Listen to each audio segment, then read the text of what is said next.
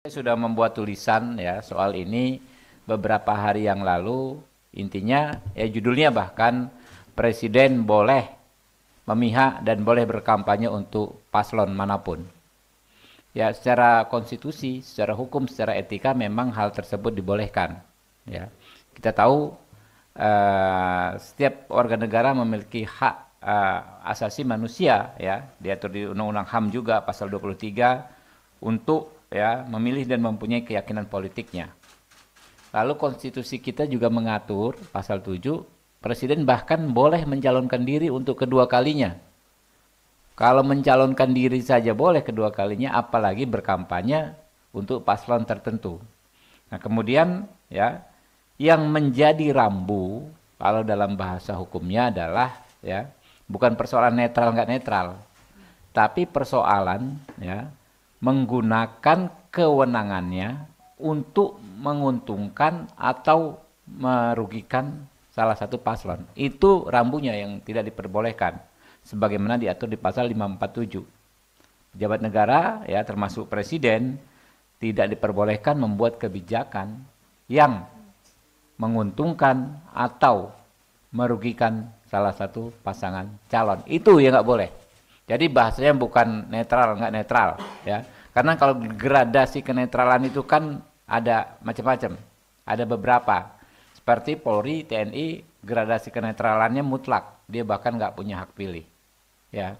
Lalu misalnya ASN, gradasi kenetralannya sedikit di bawah Polri.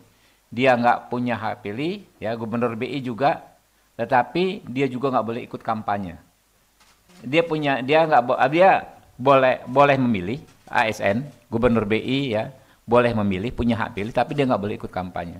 Kalau presiden di bawahnya lagi, dia boleh ikut tim kampanye, tetapi tidak boleh membuat kebijakan yang menguntungkan atau merugikan salah satu peserta kampanye. Nah parameternya itu.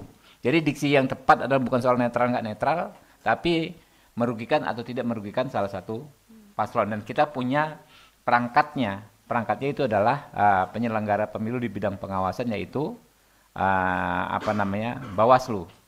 Nah, jadi aturannya ada, perangkat penegak aturannya ada dan selama ini kita nggak ada masalah. Ingat teman-teman, Pak SBY maju kedua kalinya tahun 2009 uh, ya. Dia presiden, dia berkampanye bahkan untuk dirinya sendiri.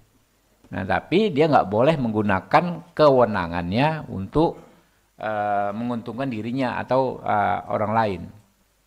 Begitu juga misalnya Ibu Mega waktu maju uh, sebagai presiden incumbent kan boleh dong. 2004 ya.